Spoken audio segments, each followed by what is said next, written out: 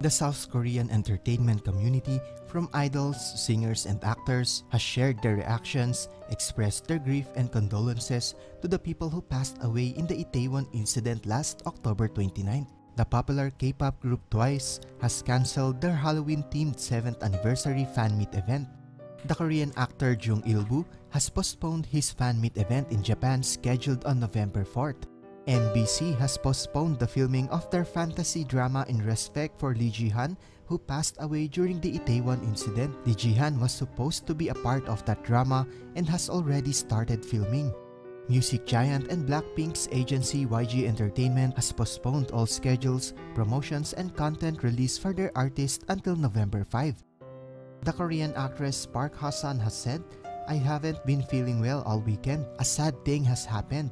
What a hard week it will be for those who have lost their family members.